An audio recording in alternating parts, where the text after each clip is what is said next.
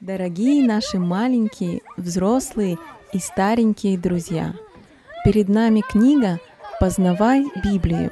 Она рассчитана на 365 дней. Каждый день вы будете узнавать необыкновенную историю, которую Бог через слуг своих записал на страницах Библии.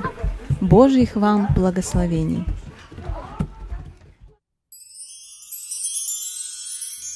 День первый. Да будет свет. Бог приготовил землю, на которой будут жить те, для кого Он задумал сотворить ее. Но Божий проект еще не был закончен, земля все еще была пустой.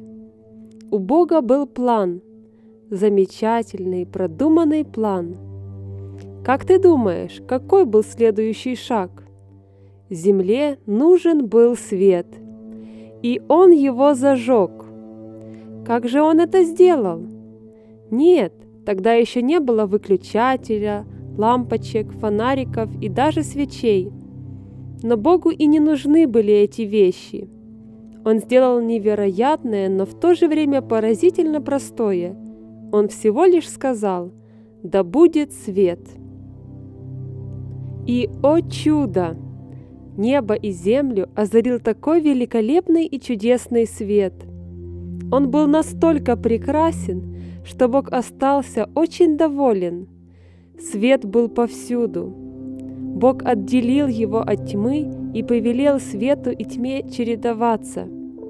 Также Он позаботился об их названии.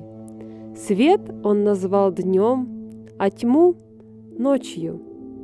Удивительно то, что система, задуманная Богом столько тысяч лет назад, действует до сих пор.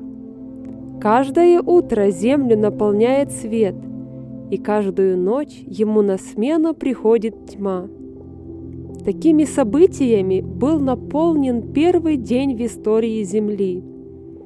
И когда наступил вечер, и тьма сменила свет, первый день был окончен.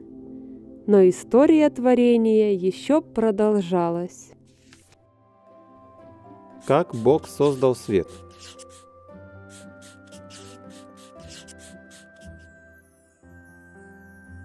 Как Бог назвал свет и тьму?